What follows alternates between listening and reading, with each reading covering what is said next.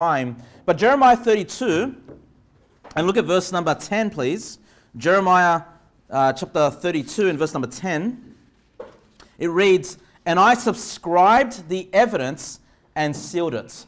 The title for the sermon this evening is Subscribe and Seal the Evidence. Subscribe and seal the evidence. One thing that I was thinking about as I was reading through this chapter, uh, one thing that kept popping out in this chapter, and you'll, you'll notice as we go through it, how many times the word evidence appears in this chapter. Just after evidence, after ev evidence, after evidence, it keeps coming up. And so I, I do believe the Lord wants to bring our attention to this topic tonight. So let's start there in verse number 1. Jeremiah 32 and verse number 1 begins by saying, The word that came to Jeremiah from the Lord in the 10th year of Zedekiah, king of Judah, which was the 18th year of Nebuchadrezzar. For the king of Babylon's army besieged Jerusalem, and Jeremiah the prophet was shut up in the court of the prison, which was in the king of Judah's house. So we get the timing of this prophecy that comes from the Lord to Jeremiah. You can see that it's during the 10th year of King Zedekiah. We know that King Zedekiah was the last king before the complete destruction of Jerusalem and the final exile of the people. And you can see that really they are at the point of war right there, right? Because it says the king of Babylon's army has besieged Jerusalem. Okay, so there's a siege taking place. You know, people in Jerusalem they can't go out for fear of being uh, captured or killed and you know uh, they can't bring resources in so it's a, it's a dire strait right the prophecies of jeremiah have been coming true and remember the book of jeremiah is not always in chronological order so here we are toward the end of the captivity now this should be so clear by now if you've been listening to jeremiah like if you lived in that time and jeremiah's preaching how the king of babylon's coming and this is going on don't you shouldn't you just at this point say man jeremiah was right all along he was right i thought he was crazy you know, I thought he was just off the wall. I thought he had gone insane. But actually, everything Jeremiah had said had come true. And it, it, surprised me that even as we keep going through this chapter, people are still not listening to Jeremiah. To the fact now, where is he? It says in verse number two, he's in the court of the prison. He was shut up in the court of the prison. So Jeremiah has been arrested and is in prison, right? I mean, this is what's happened to the man of God. You might ask, why is Jeremiah imprisoned?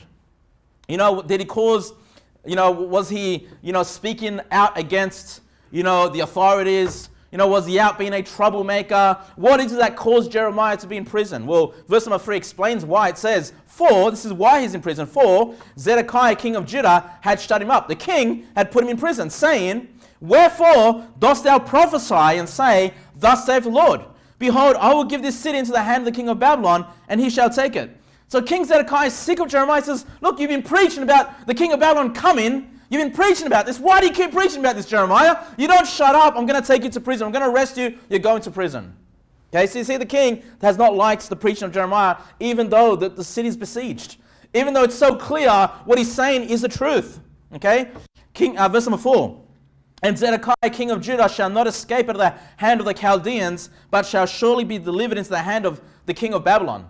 So King Zedekiah, full of pride, he said, how, how, how dare you preach and teach people that I'm going to be taken into, as, as a prisoner, I'm going to be captured by King ba uh, Nebuchadnezzar, right? How dare you say that? And shall speak with him mouth and mouth, and his eyes shall behold his eyes. Verse number 5, And he shall lead Zedekiah to Babylon, and there shall ye be until I visit him, saith the Lord. Though ye fight with the Chaldeans, ye shall not prosper. And so King Zedekiah, what we just read, is repeating the words that Jeremiah has been preaching, which is why he shut him up in prison. Now again, why was Jeremiah in prison? Was he a troublemaker? Was he causing problems? Well, I guess he was causing some problems. But the, the main reason he's in prison is simply because he's preaching God's word. I mean, that, that's why he's in prison, brethren. And I just want to read to you very quickly from 1 Peter 4.15, which says, But let none of you suffer as a murderer, or as a thief, or as an evildoer, or as a busybody in other men's matters. Yet if any suffer as a Christian, let him not be ashamed, but let him glorify God on this behalf. Brethren, I, I don't know what the future may hold.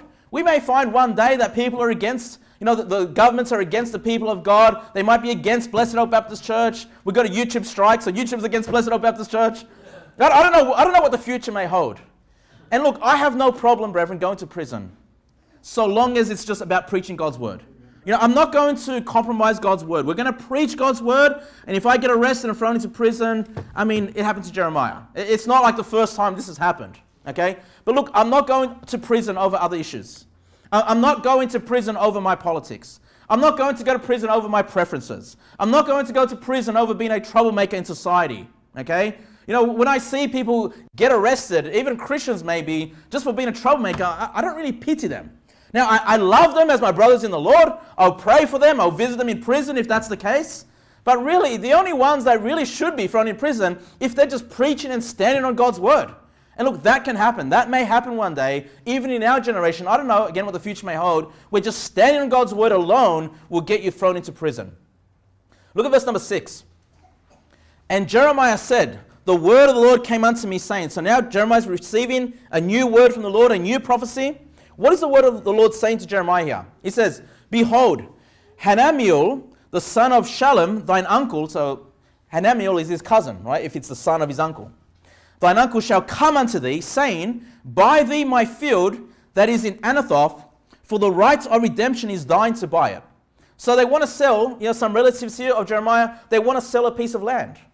Now, again, don't you think this is a useless activity right now? You know, if they've been listening to Jeremiah, Jeremiah saying, they are coming, the Babylonians are coming, they're going to destroy the place. So this proves to me, even his own relatives, what are they interested in? Trying to sell some land, trying to make some money. Okay? They're not, they're not even listening, they're not even hearing, they're not even obeying the words that are coming from Jeremiah, their own relative, the prophet of God that's been used. And they're trying to sell this land to Jeremiah. Why are they selling it to Jeremiah? Because you can see there it said that, um, uh, for it is the right of thy redemption uh, to buy it. So if, if in the Bible times, if you're going to sell a piece of land, the people that got the first dibs at the land was the closest relatives before it got spread out to, you know, to others. Okay, so they're trying to sell this land to Jeremiah. Well, well, the Lord is telling Jeremiah they're going to come and sell this land to you. And then it says in verse number 8, So Hanameel, mine uncle's son, came to me in the court of the prison according to the word of the Lord. So the Lord told Jeremiah this was going to happen, and then it did happen. Right? It did happen.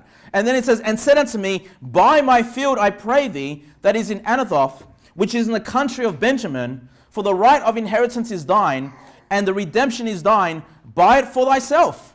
Notice the next words that Jeremiah says. Then I knew that this was the word of the Lord. Okay, why would he say that? Jeremiah is an experienced preacher, isn't he? He's an experienced prophet. He's been preaching for many decades already. Okay? And the word of the Lord has come upon Jeremiah many, many times. But we learn something about this experience that Jeremiah had with the leading of the Lord. Notice that when he received something from the Lord, this is something we learn in this chapter, he needed some type of evidence or some type of proof, some type of confirmation that what he heard was definitely from the Lord. Okay, we learn about this here. So he's, he's heard from the Lord that your cousin's going to come and sell you a piece of land. Then when it does happen, he goes, Oh, now I know that was from the Lord. Okay? So what I'm trying to say to you, brethren, is he sought confirmation. Now, this is important because as Christians, I hear many Christians say this to me. You know, oh, the Lord is leading me to X, Y, and Z. The Lord has told me to X, Y, and Z. You, I can't tell you how many people have said to me, the Lord has told me, you know, He's directed me to your church. You know, the Lord wants me to be at Blessed Hope Baptist Church. The Lord wants me to be at New Life Baptist Church. And then a week, a few weeks later, a month, a few months later, they're gone. It's like, did the Lord tell you this or not? Because if the Lord was so sure about telling you to come, where are you?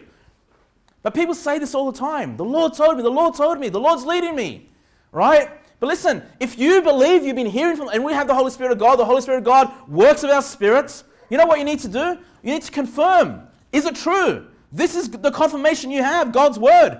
You hear something from God, you go, well, let me check in the Bible if this is true. This is the confirmation. When you have the confirmation, then you know it's from the Lord. Hey, but if you're hearing from the Lord and they're telling you something opposite to the word of God, that's not from the Lord. Hey, it could be from, the de- could be from some devil. It could just be your wild imagination, okay? But it, it surprised me how, uh, how, uh, you know, how much liberty Christians have to say, the Lord told me, the Lord's leading me, the Lord's doing this. Well, you know, and then it all fails, it all falls apart. You know, how many people say, the Lord's leading me to the ministry, I'm going to, into Bible college, they go to Bible college, and then they're out of church. Is the Lord leading you, or is it just your own wild imagination? You can see Jeremiah seeks to confirm the truth.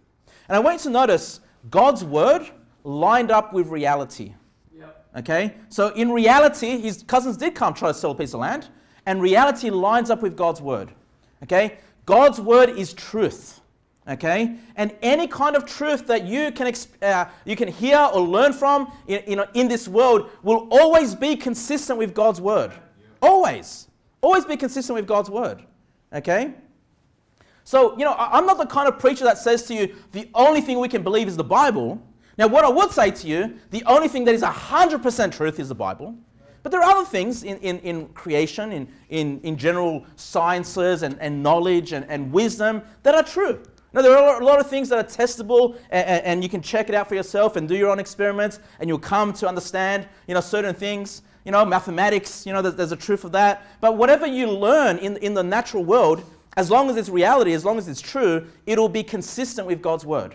Okay, always. And so you have this scenario play out for Jeremiah. He goes, Yep, yeah, that must have been true. I've got confirmation. This is why it's so important that we build our doctrines on multiple witnesses. You know, have two or three witnesses in the Bible, right? The title for the sermon was Subscribe and Seal the Evidence. Subscribe and seal the evidence, okay? We need evidence to understand or believe certain truths. Okay? And you can see here that in Jeremiah, he saw the evidence of his cousin's cousin coming to sell him a piece of land. Now, why am I saying this? Because you have to understand that reality matches God's word. It matches God's word. It has to match God's word. Okay? In Romans chapter 1, verse 20, it says, For the invisible things of him from the creation of the world are clearly seen, being understood by the things that are made even his eternal power and Godhead, so that they are without excuse. What is that telling us?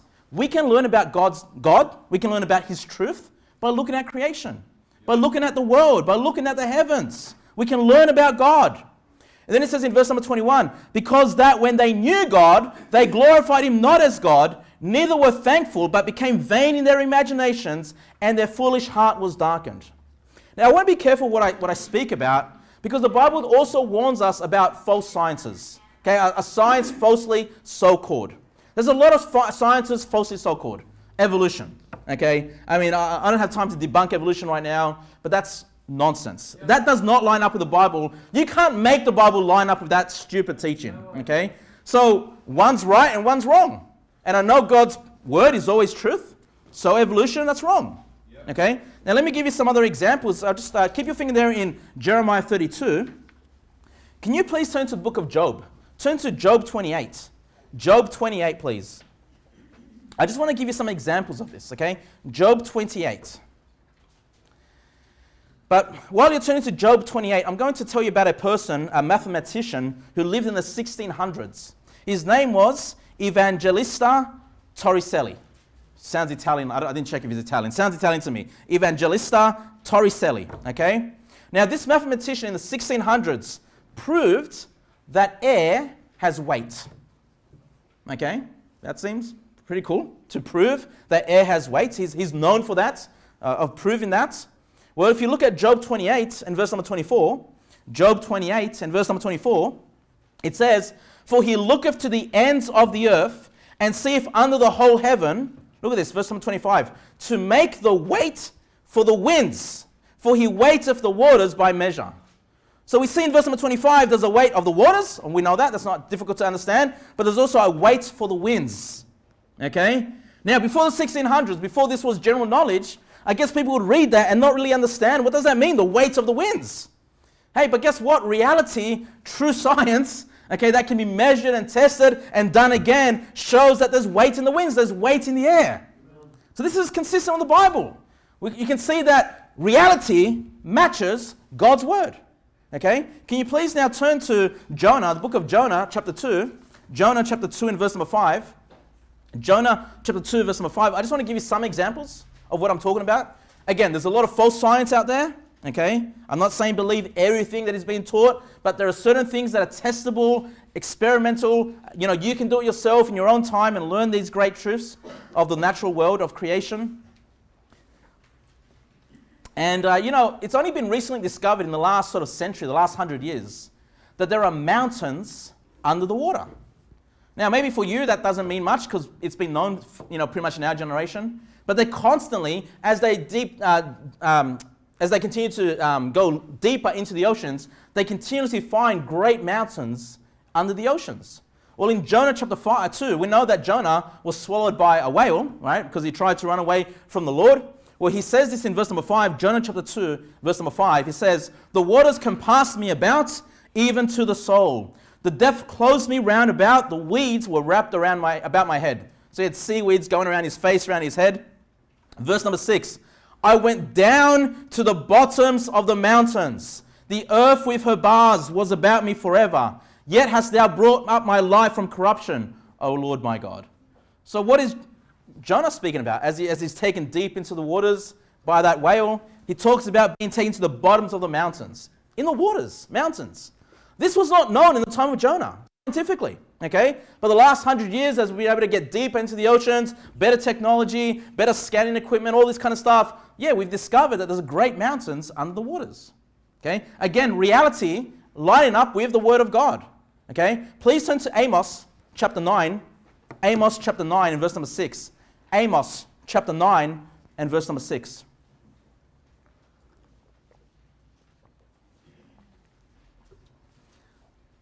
You know, there's a lot of people that believe if you're a Bible believing Christian that you're against science. Like you've got to choose between religion, Christianity, the Bible, or science. I say, I want both. Okay? If the science is true and God's word is true, it's going to be compatible. It's going to be perfectly aligned. There's going to be no contradictions. I'm happy to accept both if they're both true. But again, there's a lot of lies, aren't there, in, in the world? Amos chapter 9 and verse number 6. Amos chapter 9 and verse number 6. Let's just read this passage together first. Amos chapter 9, verse number 6. It says, It is he that buildeth his stories in the heaven and have founded his troop in the earth. Now, notice the next words. He that calleth for the waters of the sea and poureth them out upon the face of the earth, the Lord is his name. What's it saying there? God calls the waters of the sea, and then the same waters that he takes out of the sea, he pours it upon the face of the earth. Okay? The Lord is his name. What is that about? That's the water cycle. You know, the water cycle, um, the, person that gets, you know, uh, noted as, as uh, discovering or proving the water cycle is a man named uh, of uh, Bernard Palissy. He lived in the 1500s and he was a hydraulics engineer, okay? But even though he proved the water cycle, it was not accepted, like it wasn't widely accepted to the 19th century, okay, the water cycle that, that uh, waters come from the sea, okay, back to the heavens, and then that's what rains down. You know, again, we learned this in primary school. It seems like basic science to us, but that was not known. You know, just some hundreds of years ago. Yet the Bible tells us that this took place. You know, before that, they used to believe that the rivers, because you know the rivers run down into the oceans, they believed that the waters were coming out of the crust of the earth, filling up the rivers, and then the rivers were taking that water into the ocean. Okay, now, that's, that's not the only passage, because then it says in Ecclesiastes 1.7, you don't need to turn there, Ecclesiastes 1.7, it says, all the rivers run into the sea, yet the sea is not full. So that, that would be the case. Like if there was just water coming out of the earth, filling up the rivers, and the rivers just kept filling up the oceans, eventually you'd think they'd be full, but the Bible says it. the sea is not full. It says, unto the place from whence the rivers come, thither they return again. So the same waters that run down the rivers into the oceans the same water will be back in the rivers once again running down into the oceans, okay? It's the water cycle, okay? And there are many passages in the Bible actually that speak about the water cycle. But that was not widely accepted, well not widely known until the 19th century. Okay? So does reality match up with God's word? All the time. All the time. Okay? Now why am I saying this? Because as students of the Bible, you know, we, we need to understand that we take the Bible literally, but you also need to understand that God uses uh, a lot of you know, poetic language, a lot of figurative language, a lot of symbolic uh, things as well in the Bible, and you can't always take everything literally. Let me give you an example of this. I'll just read to you. This is, in fact, this is one of my favorite verses. It encourages me to go soul winning. Okay, it's Isaiah 52 verse 12. I'll just read it to you. It says, "For ye shall go out with joy and be led forth with peace. The mountains and the hills shall break forth before you into singing, and all the trees of the field shall clap their hands. Why does that encourage me? That encourages me because even if I'm unsuccessful, maybe at the door, maybe no one's interested, no one's there, I know that when I go out proclaiming God's word, creation is rejoicing. Hey, but if I were to be a hyper literal person, I would read that and I go, well, see, the Bible says here that the mountains and the hills break forth into singing. Wow, so they must have mouths and they can sing the mountains and the hills. And then it says, and the trees of the field shall clap their hands. So trees here must have hands that they clap. All right? And then I'll have some scientists come up to me and Pastor Kevin, don't you know, you're just a, you know, a brainless religious nut.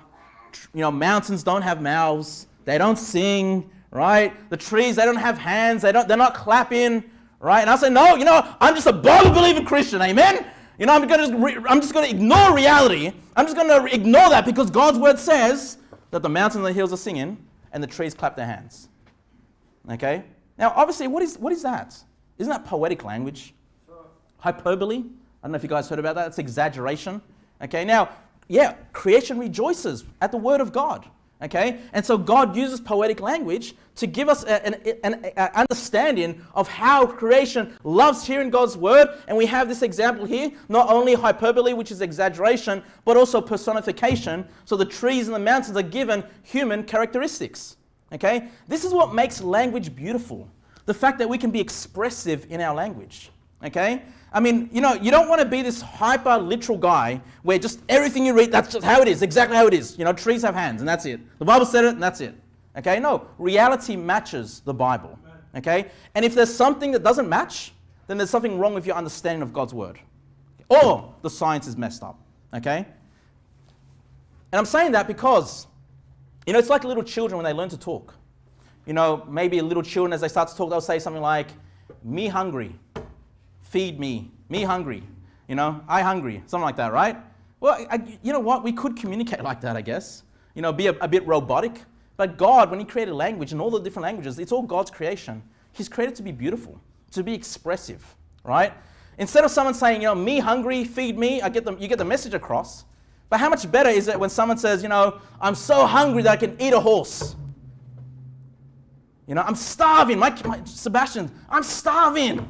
You know, he, he's had three meals a day, but he's starving, right? You know, we use expressive, you know, exaggeration to make language beautiful, right? To express, you know, uh, uh, beyond what, what, you know, words alone can, can give us. And so if you say, you know, I'm so hungry I can eat a horse, oh, you're lying, brother. You're telling a lie right now. You can't eat a horse. You reckon if I put a horse right now, cooked it for you, you reckon you eat the whole thing? You're a liar. No, it's, you know, it's the beauty of language, you know, expression, illustrations, right? Uh, you know, this is, you need to understand this about the Bible because the Bible's full of this beautiful language, okay? Uh, Isabel, she doesn't say it so much now, but she used to say it when I was little, when she was little, sorry. You know, I, I'd, go to work and she'd say, Papa, she could say, I love you, and that's beautiful, I love you. But she'd say, Papa, I love you to the moon and back. She's never been to the moon. How can she love me to the moon and back? How does she even know how far it is? She's never done that. I say, oh, you're lying, Isabel. No, you know, I, I know what you mean. You're being expressive. You're using poetic language, you're using beautiful language, right? Not like, you know, me love you, you know? Uh, the Bible's not like that, okay? The Bible is written by God. If, if anybody can be expressive and beautiful with his words, it's the Lord God. And he's used man, okay? So I'm, I'm telling you that I feel like I've, I've, kind of lost my point now. I can't remember what my point was. My point was God's word matches reality, but you don't want to be this hyper literal guy that even when things are symbolic and even when things are poetic and things are exaggerated and things are used in personification and all other language, uh, poetic kind of devices in language, you can't just be, well, that's what the Bible says, that's literal, and reject reality. No, reality matches the word of God. Okay? Now, I'm saying that because we've seen Jeremiah, he sees reality and he matches God's word. And this gave him confirmation, this gave him confidence that God's word was true. Now, go back to Jeremiah 31, verse number 9. Jeremiah 31, verse number 9. As I told you, you know, the, the title for the sermon was Subscribe and Seal the Evidence. Evidence. I love it when reality adds further evidence to the truth of God's word. Okay? Now listen, I don't need reality to prove to me God's word is true. What I'm saying to you is that it helps, the evidence helps. Understanding that God's word is true gives you the confidence. You know, we shouldn't just reject every other, uh, other aspect of knowledge or gaining knowledge so long as it's true and consistent with God's word. Okay? Jeremiah chapter 32, verse number 9. And then it says, And I bought the field. So he, he actually buys it. Of Hanameel, my uncle's son, that was in Anathoth and weighed him the money, even 17 shekels of silver. They say, Jeremiah, why? I mean, God told him to buy this. But Jeremiah knows, what's the point? I'm going to buy this, I'm going to be out of pocket, and then the Babylonians are going to come and take it all anyway. They're going to burn it all down anyway. Okay? This is like insider knowledge, insider trading. Have you heard of insider trading? Where, where, where people in power and in business and government world they know what stocks are going up. They know what stocks are going down. It's illegal. They're not meant to know. But then they hedge their bets. They, they buy the stocks. They buy the things. And they become wealthy. They become millionaires, right? Because they've got insider knowledge. They've got insider trading. They know what's going up. They know what's going down, right? And they make themselves rich. It's corrupt, okay? But Jeremiah's got insider knowledge. He knows he never can. In fact, he's been telling the whole nation that it's all going to burn down. And even with his you know, insider knowledge, he ends up buying. It's, he's at a loss here. Like, you know, he, he, he loses, what is it, 17 shekels of silver? That, he's out of pocket now, and is that land is going to be taken by the Babylonians anyway. Okay? Verse number 10. Now, he does it because he's obedient to the Lord. The Lord has a lesson in this. We'll have a look at it as we go through the chapter. There's a lesson to this whole purchasing the land, okay? But I want you to notice verse number 10. This is where we start to notice the words evidence over and over again. And I subscribed the evidence and sealed it and took witnesses and weighed him the money in the balances. Listen, this is a great important truth. This teaches us how to make agreements, okay? How to make vows, how to make promises, how to fulfill contracts, okay? There's a process, there's a biblical process. We know Jeremiah is a man of God. And you can see when he goes to buy a piece of land, this is not just some handshake agreement, he does it properly, okay? What does he do? Number one, he subscribes the evidence. What does it mean to subscribe? It means to write down. Okay? So you want to sell me a piece of land, I want to buy it, we're going to document this, we're going to say this is the piece of land, this is how much it's being paid for, etc., etc. We're going to write this down, we're going to document this, uh, this sale. Okay? Next thing he does, after he documents the evidence, he seals it. Now, in the days of, of the Bible here, to seal, they used to write in rolls, and to seal it, they would use that wax. You know what I'm talking about? That, that, seal, that wax seal, like on, on a scroll or something like that. Well, that, that would be kind of like someone's signature, right? You'd seal that, and that would show that is, uh, you know, uh, that is bonded, it's an agreement. And the thing is, it cannot be changed, it cannot be altered, because the only way you can change what is written in that scroll is if you break the seal, and by breaking the seal, you, you damage the scroll. So it's obvious that it's been tampered with, okay? So he seals it to show that this is an agreement, all right? It's locked into place. It's kind of like envelopes. If you get like a Christmas card, you know, you know, the envelope bit has that, you know, the seal, the sticky bit that you seal it. Have you ever tried to open an envelope like slowly and not damage the envelope? You ever tried that? Well, I mean, I've tried it. I've always failed. Like it's, it's always clearly been tampered with, right? No matter how much I try to open it carefully. Okay, that's the idea. It's been sealed, right? Now, in, in today's um, environment, we don't really do that so much. Like if we're writing a document, uh, we're, we're, we're agreeing to some type of contract, more often than not, we'll seal it with a signature. Okay? I'll sign it, you'll sign it, and this is what seals the agreement. Okay? And uh, I'll just quickly read to you 2 Thessalonians chapter 3, verse 17. You don't need to turn there, but many times when Paul would write an epistle, he would write this in second, I'll give you an example. In 2 Thessalonians 3:17, he says, The salutation of Paul with mine own hand which is the token in every epistle, so I write. So Paul would, would speak, he would have other people writing down what he's speaking as he's being moved by the Holy Ghost, but at the end of every epistle, he would always write something with his own hand, maybe like a signature or just these words, so people know this came from Paul. Okay, it's been sealed by the hand of Paul. Okay, so subscribe, document, write it down, seal it, right? like we do today, signatures, that seals the contract agreement. And then he says, what else took place? And took witnesses. So this is not just a one on one thing. There are other people watching, there are other people there knowing this transaction's taking place. Why is that so important? Because then it can become one person's word versus another person's word. He said this, he said that, you know, he said 17 shekels, but he's giving me 17, but he told me 20. Listen, when there's witnesses, they know what took place. This is so important when you're making agreements, when you're making contracts. You have witnesses there to, to be there as a judge if, if one person is lying to the other. You know, this is why when I got ordained, right, there were witnesses. You know, you know there are some pastors that claim they've been ordained, but then you ask them, well, who ordained you? Who were the witnesses? What church were you presented before? Ah, it's a secret. It's just a secret. That's not right. The biblical way is to have witnesses. Okay? You know, there are men here that saw my ordination. They saw that I was sent out. Right? They saw that I was sent out by another pastor to start a church. And now, it, you know, it will never be a situation where it'll be like my word versus another person's word. There are other people to confirm that took place. That's important when you're making agreements. Okay? When uh, a man and a woman are getting married, what do we want? We always want witnesses there, don't we? We want the bridesmaid, the bridegroom, and you know the people in the church, you know, family and friends. They're all there as witnesses to confirm that a vow was made between a man and a woman. There are other people there. You know, even if it's just the the, um, the clergyman or whoever the uh, what's the word I'm looking for? the government guy, the celebrant, right? There's some witness, there's some evidence that this took place. That's important when it comes to making agreements, making, you know, contractual agreements. Not only were there witnesses, it says, and weighed him the money in the balances.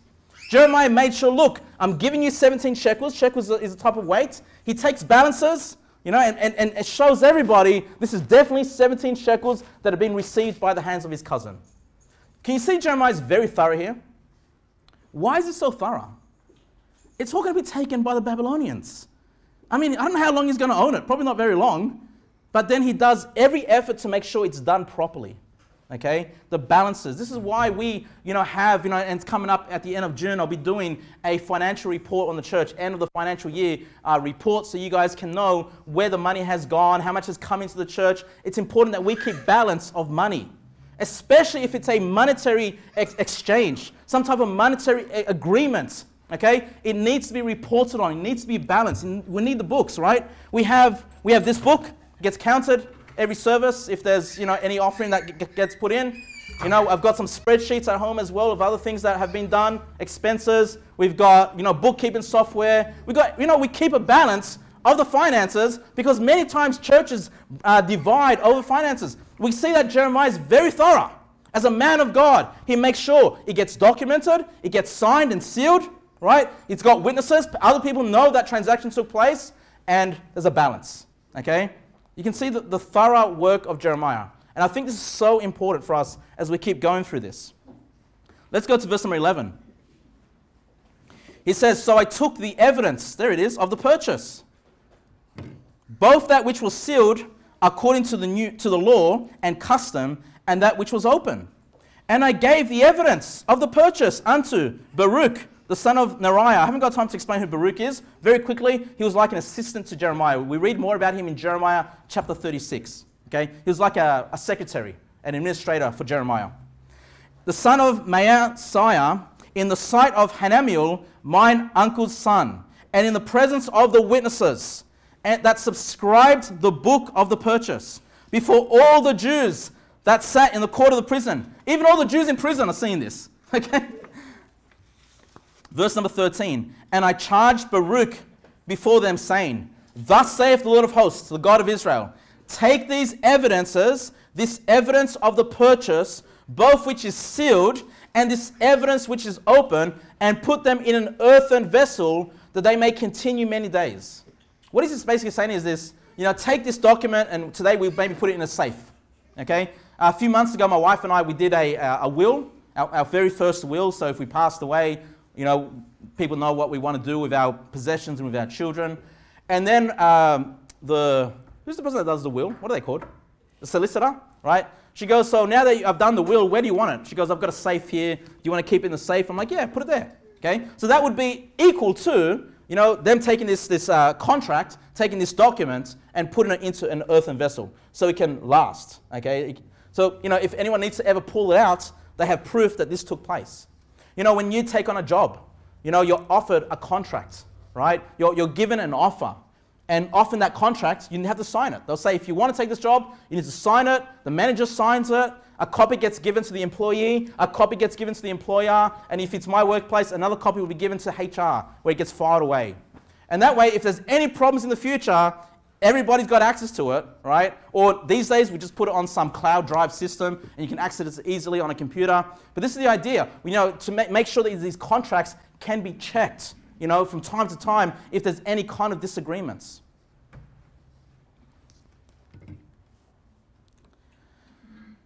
Now, I'll get you to um, please keep your finger there and turn to 2 Peter chapter 1.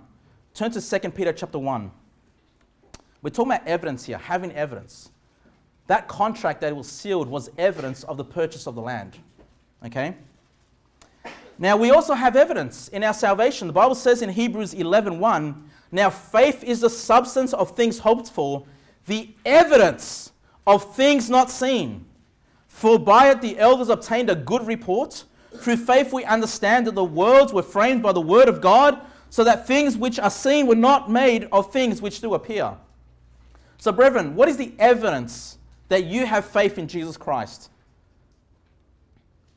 That you believe. Okay? Your faith, your belief is evidence to me that you are saved. That's all I need. All I need to know is if I ask you, how do you know that you're saved? What do you have to do to go to heaven? And you say, it's simply by believing on Jesus Christ. And that's your answer? You know, I can never lose it. It's eternal life. You give me that answer, that's sufficient evidence for me to say that you're saved. But unfortunately, many Christians are like, well, let's make sure he's coming to church. Let's make sure he's reading his Bible. You know, he was smoking a cigarette. I oh, saw him smoking a cigarette. Let's make sure he gives up smoking.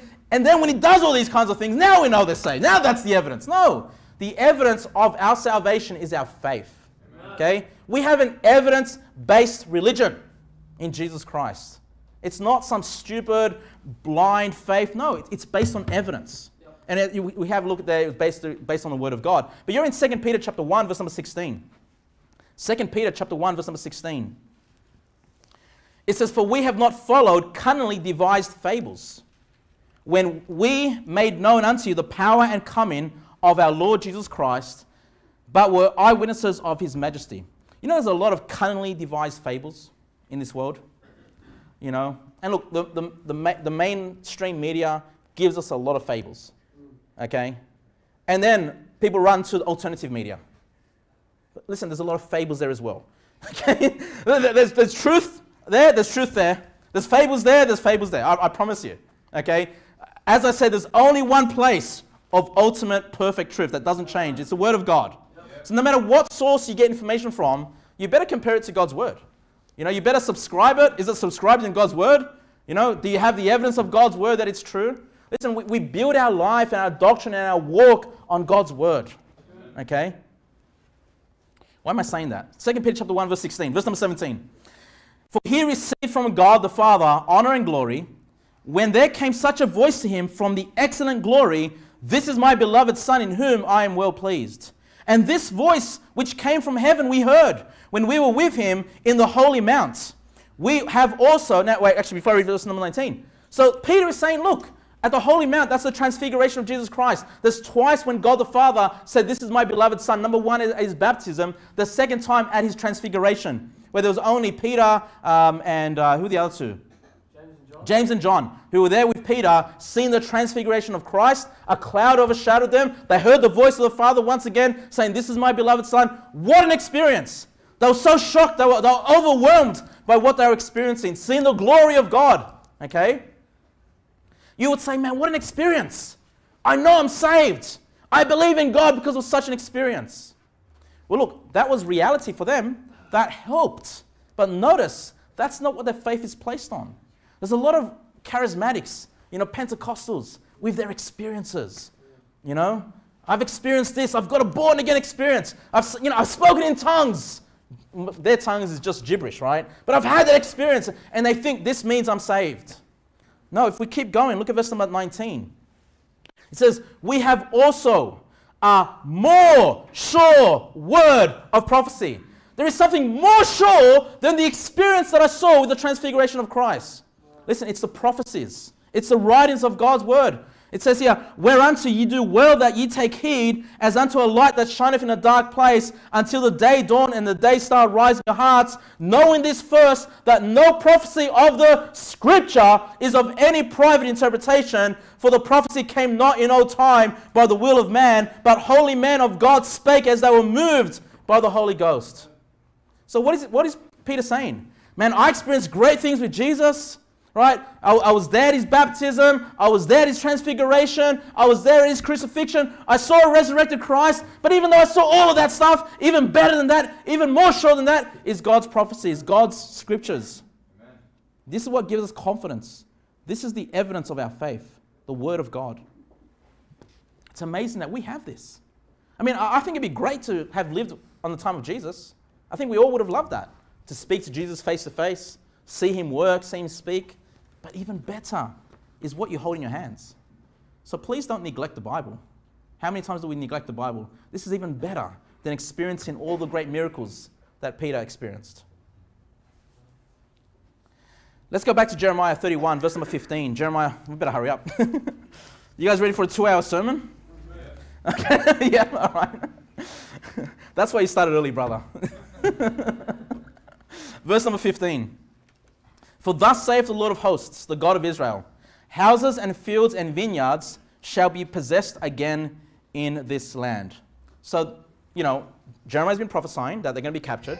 But God is now through Jeremiah once again revealing that there's going to come a time, and once again, they're going to be buying houses and lands and vineyards. Okay? So, what Jeremiah was doing in purchasing this land was to be an object lesson that one day they're going to be able to buy land once again. Okay? This is the whole purpose behind it. Verse number 16. Now, when I had delivered the evidence of the purchase, there it is again, unto Baruch the son of Neriah, I prayed unto the Lord, saying, Ah, Lord God, behold, thou hast made the heaven and the earth by thy great power and stretched out arm, and there is nothing too hard for thee. Thou showest loving kindness unto thousands, and recompensest the, iniquity of the fathers into the bosom of their children after them. The great, the mighty God, the Lord of hosts is his name. So Jeremiah now begins to praise the Lord. Because the Lord has shown him the whole purpose of you buying that piece of land before all the witnesses in the prison house, all these people watching you, is that you will teach them that one day God will cause them to come back to the land and be able to purchase land, purchase houses, get on with their lives. And then through that, Jeremiah has been uh, encouraged once again. Like he knows that God's promised them, he's not done with that nation, they're going to come back into the land. And so now he's rejoicing in the Lord. Now, I'm going to read a lot of, of these verses because it just repeats a lot of what we've been looking through Jeremiah, just for the sake of time. But verse number 19 Great in counsel and mighty in work. By the way, where do you get your counsel from? Do you, do you seek the counselor? You know, do you seek a, the counsel of men when you need help? Listen, great in counsel. God is great in counsel. When you need help, brethren, before you run to the pastor, run to God, please. Before you come to me and ask something, Run to God. Say, God, can you show me in your word? I need some help. I need some counsel. He's the one great in counsel. I'm not great in counsel, brethren. I do the best I can, but I'm still a man. Okay? It's God that's great in counsel and mighty in work. For thine eyes are open upon all the ways of the Son of Man, to give everyone according to his ways and according to the fruit of his doings, which has set signs and wonders in the land of Egypt. So now we're going back in time in history, you know, uh, when, when uh, all the plagues of Egypt fell upon them even unto this day and in Israel and among other men, and has made thee a name as at this day, and has brought forth thy people Israel out of the land of Egypt with signs and with wonders, and with a strong hand, and with a stretched out arm, and with great terror. Now, notice verse number 22 and has given them this land which thou didst swear to the fathers to give them, a land flowing with milk and honey. Listen, what's going on here? We're, talking about evidence, okay? We're talking about an agreement. You know, when God has set an agreement, when He's made a promise, when He's made a vow, He sees it through. He's seen them out of the hand of Egypt, uh, uh out of the hand of the Egyptians, and brought them into the land that He promised the fathers. God will always fulfill His promises. Yep. I often pray to the Lord when I'm struggling, and I find a great promise in His Word. The, the Psalms are really good because how many times are the Psalms speaking about being delivered by the hand of the enemy? And I just, I just read something like that to the Lord and say, Lord, you keep your promises, and I'm going to trust that you're going to help me in my difficulty. And how many times does the Lord do it? That does it, you know? He's true to his word. He's true to his word. I think there's nothing wrong, nothing wrong at all, holding God accountable to his word. He, he loved that. He, you know, he, he proclaims his, his word above his name, the Bible says. God keeps his promises, okay? But you need to understand Israel and Judah's failure at this point in time was not down to God failing, it was down to man failing. Because verse number 23 then says, And they came in and possessed it. Yes, yeah, so God kept his promise. But then what happened? But they obeyed not thy voice, neither walked in thy law. They have done nothing of all that thou hast commanded them to do. Therefore, thou hast caused all this evil to come upon them. Listen, it's not like they just forgot one thing. All right? It's, it's not like how they just messed up a little bit and now God's just angry at them. No, Jeremiah says, they have done nothing of all that thou commandest them to do. So at this point in time, as the Babylonians come, it's not a godly nation. It's, you know, they're worshiping false gods. They're doing all manners of wickedness. Okay? Even the stuff that's going on into God's house is corrupt. They've got false preachers, they've got false priests. Okay? I mean, they deserve to be judged. Brethren, what verse am I up to? 23. 24. Behold the mounts. They are come unto the city to take it, and the city is given into the hand of the Chaldeans that fight against it because of the sword and of the famine and of the pestilence. And what thou hast spoken is come to pass, and behold, thou seest it. Now look at verse number 25. And thou hast said unto me, O oh, Lord God. So Jeremiah is saying, look, the Chaldeans are coming, that's the Babylonians, same guys, okay? They come in, they're going to take it all. But then he says, but then, God, you told me, O Lord God, buy thee the field for money and take witnesses, for the city is given into the hand of the Chaldeans. So Jeremiah says, Lord, this doesn't really make a lot of sense, right? They come in, they're taking everything, they're going to burn it all down. You know, it's your judgment. But then you told me to buy this piece of land. Right? It just doesn't seem to make a lot of sense. Again, you know, Jeremiah's out of money here, right? He's out of pocket. 17 shekels out of pocket, right? He's not going to hold on to that land for very long, okay? And, um, and so it might, you know, initially seem weird, okay, for Jeremiah to be instructed to buy this piece of land when God's judgment is, is about to fall. But I just, again, we just want you to notice that even though this is a guaranteed loss to Jeremiah, guaranteed loss, okay? Um, and he's not going to make any profit, we know that even something that is seemingly so unimportant. I'm going to buy this piece of land, then it's going to be taken off, off me by the Chaldeans, by the Babylonians. Even something that seemingly seems so unimportant required proper process. Subscribing it, sealing it, witnesses. Okay? Proper process, even though it may seem insignificant, unnecessary, a waste of time. Okay? Why am I saying this? Because again, we, we see this being brought up again and again in this chapter. Okay? This is so important, okay? Now, especially when it comes to God's house, when it comes to this church, all right? I want you to understand that I don't have any secret, you know, dealings with people. I don't have any secret handshake agreements with anybody. You know, I, I don't have, you know, a group of people, you know, two or three people, you know, one person or two people, three people that just know my secret thoughts about this church. There's nothing like that, brethren, okay? I, I have nothing to hide. You know, it doesn't matter how long, if you've been in this church from the very beginning or you've just recently come, I have nothing to hide. If you want to know about this church, I'll tell you anything. I'll tell you my plans. I'll tell you my vision. Okay? I don't have any secret agreements with anybody. All right? When we started this church, all right, what do I do? First thing, spoke to my wife. Honey, what do you reckon? Sounds like a good idea. Next thing I did, went to my church, New Life Baptist Church. What do you guys reckon? I have to travel here. I'd, I'd, reduce how much I'd be able to preach for you guys. I need you guys to step up. You know, I'll be traveling down here. I need you guys supporting me, praying for me. What do you think? Do you think it's possible? They say, yes, sounds good. Go ahead and do it. Next thing, contact brethren in this church before this church started. What do you think? Can we do it? We have a meeting. We get together amongst witnesses. We talk about, you know, plans for the church. Can it happen? Should we do it? How can it happen? We talk about it. It's not a secret. Okay? And then with everybody knowing, we make an agreement, we decide, yes, we go ahead and we start this church. That's how this church has started. This is how decisions will always be made in this church. Okay? No secret handshakes. No he said, he said, she said, none of that. It's out in the open. Okay? This is the instruction that we see from God. Not only do we see a godly man do it, but even when it seems unnecessary, because he's going to lose it anyway, he still follows through and does proper process. You know, when I came down to Sydney, you know, already more than halfway through, same thing. Honey, what do you reckon? Sounds good. New Life Baptist Church, what do you reckon? Sounds good. Come here, talk to you guys. What do you reckon? Should we do it? Yeah, sounds good. Before witnesses, right? Every decision of this church is done with everybody knowing. Anything that's important, even, even things that may not seem important, like you know, given maybe the finances, you know, we need to give financial reports, these things already mentioned. These things have to be out in the open.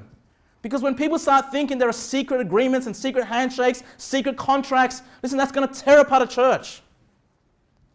Everything is in the open. If you want to know about this church, I'll tell you anything. I've got nothing to hide. Okay? It's so important. So important. If I ever entrust this church into the hands of another man or other men, I promise you this it's going to be before witnesses. Okay? If we ever ordain somebody in this church, it'll be before witnesses. There are, listen, my track record is like this. I understand. I understand it's important to document. I understand it's important to sign and to seal. I understand it's important to be brought forth before witnesses so everybody knows what's going on. I, I understand this. this is so important. This is part of my normal practice. Not only is it part of my practice, it's also the instruction that we get from God's word. A godly man like Jeremiah, God is telling him how to make contractual agreements. This is how we even do it in this world today. You know, e even getting a job out in the secular world, they follow these kinds of processes. Okay? Who, you say, who are the witnesses? Anybody can get your job contract. Anybody in your you know, HR can access and say, yeah, there's been agreements made. There's been a signature. It's been signed. Okay? Important. Because if we don't follow through, if we don't keep things open, if we don't do things before witnesses, it can hurt a church. Please never make secret handshake agreements. You know, if, if you walk away thinking Pastor Kevin has promised me something and nobody knows about it, then you're wrong. If nobody knows about it, it was never made.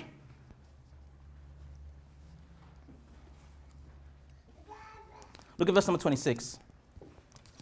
Then came the word of the Lord unto Jeremiah, saying, Behold, I am the Lord, the God of all flesh. Is there anything too hard for me?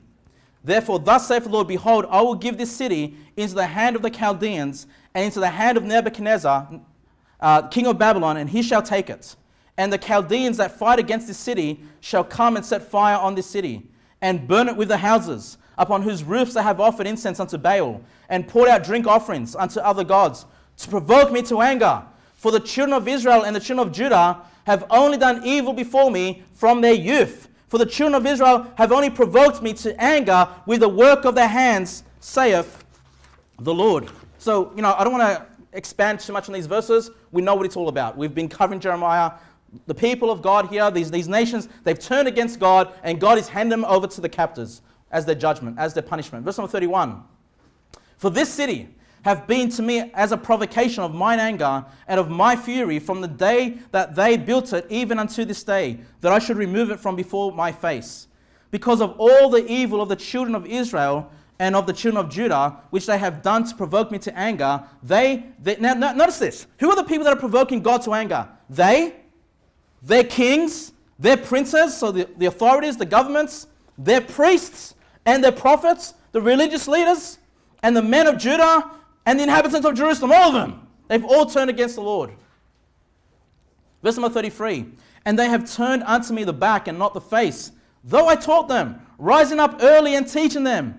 Yet they have not hearkened to receive instruction, but they set their abominations in the house, which is called by my name, to defile it. And they built the high altars of Baal, which are in the valley of the son of Hinnom. Look at this to cause their sons and their daughters to pass through the fire unto Moloch, which I commanded them not. Neither came it into my mind that they should do this abomination to cause Judah to sin.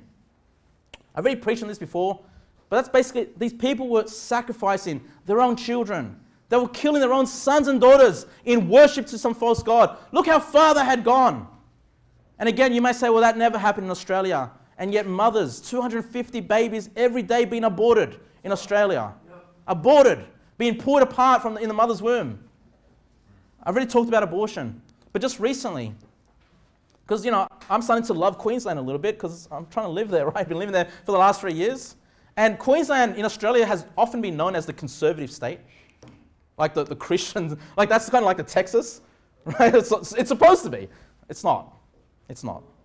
Because just recently, just two days ago, the Queensland Labor government is trying to pass assisted suicide. They want, they want to bring in a bill so they can kill more people, assist people to suicide. Listen, this is already legal in Victoria, okay, which is why it's such a wicked state. It, has been introduced recently in WA, it's already been passed in Tasmania, but it doesn't come into effect until uh, next year, 2022. And now Queensland, my beloved Queensland, which the Lord sent me to. Looks like there's going to need a little bit of preaching in that area, right? But listen, I mean, we live in a wicked nation. Yeah. We, such a wicked nation.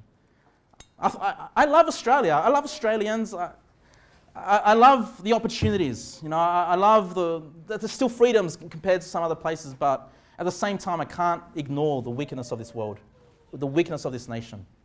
You just now just let's just let's just kill babies, let's just inject a whole bunch of vaccinate, vaccinations into you, all kinds of who knows what. Let's kill the elderly. Hey, let, us help them die. Let's, let's, let's, let's make it legal to commit suicide assisted so no one gets in trouble. I mean, we live in a nation of death, of death. Okay? And look, these people love death, don't they? Sacrificing their own kids. If they love death so much, then God's bringing them death. God's bringing them judgment. Verse number 36. And now, therefore, thus saith the Lord, the God of Israel, concerning this city, whereof ye say, It shall be del delivered into the hand of king of Babylon by the sword, and by the famine, and by the pestilence. Behold, I will gather them out of all countries. Now, we're looking at uh, at the end of the captivity. Once again, he's talking about how he's going to bring them back, okay? But I want you to notice this, this actually has a double prophecy. There's a double fulfillment in these passages. I'll, I'll show you soon. Okay, so it's not just them coming out of the 70 year period, okay, back into the land, which is important. That's important. But this is also about us. Okay, so if you are not been paying attention, at least pay attention now because this is about you. Okay? Verse number 37, I'll just read it again. Behold, I will gather them out of all countries, whither I have driven them in mine anger, and in my fury, and in my great wrath, and I will bring them again unto this place, and I will cause them to dwell safely. Let's stop there for a moment. I will cause them to dwell safely. There are so many churches right now that are dispensational Zionist, okay, and they look at the nation of Israel today and they say, these passages that we're reading, they say that was fulfilled in 1948 when Israel became a nation once again and the Jews are returning back to the land. But what does it say there? He says, and I will cause them to dwell safely. What's going on right now? The Palestinians and the Jews shooting rockets at each other, death on both sides. Does that sound like being dwelling safely? Does that sound like a fulfillment of this prophecy? Of course not. It's, it's, it's amazing. Now, look, what is the fulfillment of this? Number one, a new generation, a godly generation being led by godly people returning back to the land. Okay? And I told you this is a double fulfillment. This is about us as well. Okay? Because look at verse number 38. And they shall be my people, and I will be their God. And I say, see, the Jews today, they're God's people. we got to support Israel. Yeah, support Israel. Who cares about the Palestinians? Listen, the Palestinians, Jesus died for their sins as well. Okay? He died for the sins of the Palestinians. He died for the sins of the Jews. Hey, if either side they don't believe in Jesus, they're both going to hell. They both need to hear the gospel. I'm not going to choose one wicked nation over another wicked nation. I don't even want to support my wicked nation. Why would I support some foreign wicked nations? The nation I support is the spiritual nation, the Israel of God, the people of God, Jews and Gentiles that have believed on Jesus Christ. That's my nation. Amen. That's the nation I support.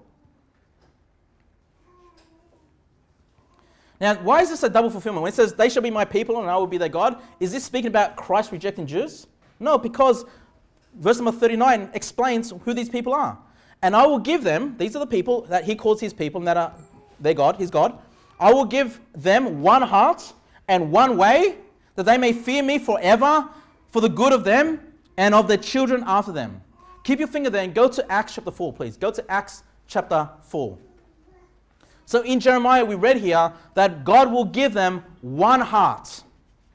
Now, there's only one other passage in the Bible that speaks about this one heart. It's in Acts chapter 4. This is where the double fulfillment comes in. Okay? Acts chapter 4, verse number 32. Acts chapter 4 and verse number 32. It says, And the multitude of them that believed, that what? Believed. Believed what? The preaching of Christ. They believed the gospel. These are the people we're talking about. And the multitude of them that believed were of one heart and of one soul. Neither said any of them that aught of the things which he possessed was his own, but they had all things common. Listen, as they went out preaching the gospel of Jesus Christ, all those that believed became all of one heart, which is the fulfillment of what Jeremiah is saying in Jeremiah 32. So you can see this isn't just the people returning back to the land. This is about those that believe the gospel in New Testament times. This is about you. God has given us one heart. This is why we can be together here in church on a Thursday from all kinds of backgrounds, all walks of life, coming together just to praise God because we have that heart to love the Lord, to love our Savior. Look at, go back to Jeremiah 32, look at verse number 40. This is also why it's a double prophecy. In verse number 40, it says, And I will make an everlasting covenant with them. Now, notice, I will make. Does that mean it's been made already? Is this everlasting covenant the Old Covenant, the Old Testament, or is it something else? No, because if he has to make it, it's something new.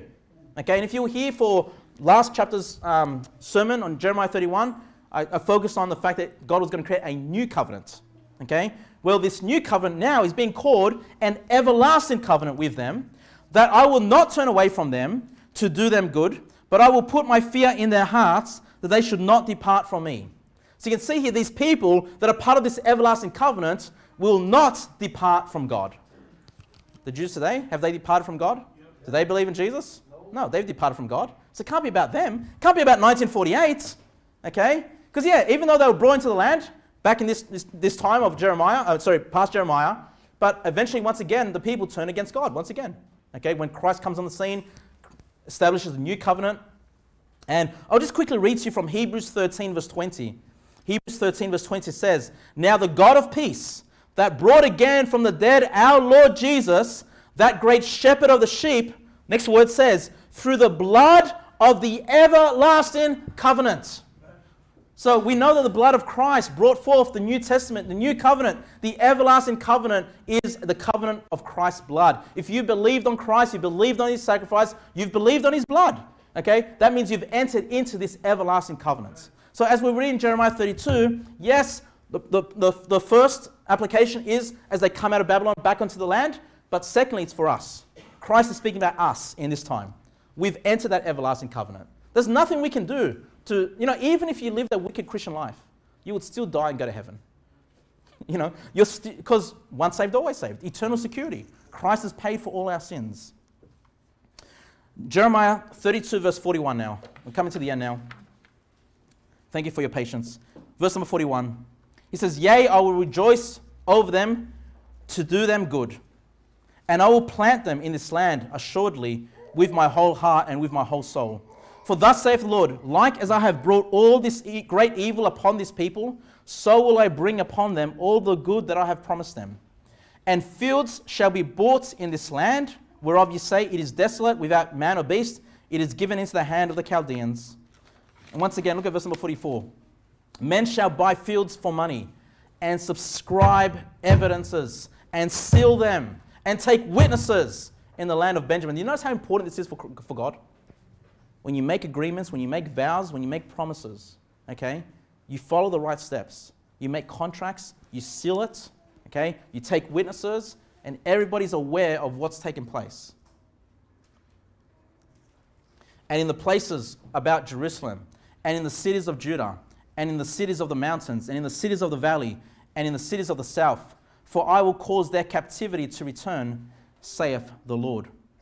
Now, can you please turn to one more passage and we'll end on this one? Please turn to Ephesians chapter 4. Turn to Ephesians chapter 4, verse number 14. It is so important, brethren, especially if you're new to the faith, if you haven't been saved very long, especially the children in this church. You know, I'm not trying to talk myself up right now, but you hear a lot of good preaching from this church. I'm not talking just myself, there are other great men who come here behind the pulpit preaching us God's word. Okay? And one thing you need to do is when you learn something from God's word, you've seen the evidence that's presented. Maybe you've compared scripture with scripture to make sure it's definitely true. Once you have seen something from the Bible, you know it's true, hey, you know it matches reality, you lock it in. You say, This is truth, and I'm not going to move from this truth. Okay? It's going to keep you stable. Okay? Especially salvation. You lock in salvation. You lock, on, lock in who Christ is, the Son of God. You lock in the Trinity. You, you lock in the virgin birth. You lock in that God created everything in six days. You lock it in. Right? The Bible says that a woman is not to usurp authority over a man in a church. A woman is not to preach in a church. You lock that in. Because then you're going to grow up and you're going to go to some Hillsong church with some woman preaching. You're going to think, this is great. Well, that's because you haven't locked in the doctrines. You haven't looked at the evidence and locked it in. Ephesians chapter 4, verse number 14. Ephesians 4.14 says, that we henceforth be no more children, tossed to and fro and carried about with every wind of doctrine, by the sleight of men and cunning craftiness, whereby they lie in wait to deceive. You know, there are people waiting to, deceive you. As soon as you leave these doors, there are people hoping they get hold of you and lie to you and deceive you with falsehoods, with false doctrines.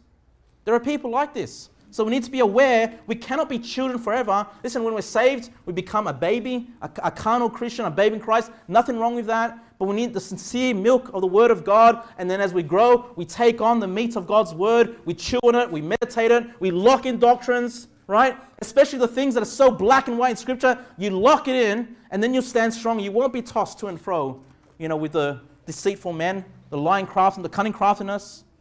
So important that we get the evidence of God's word into our hearts and that you stand on the doctrines that God has given us. Let's pray.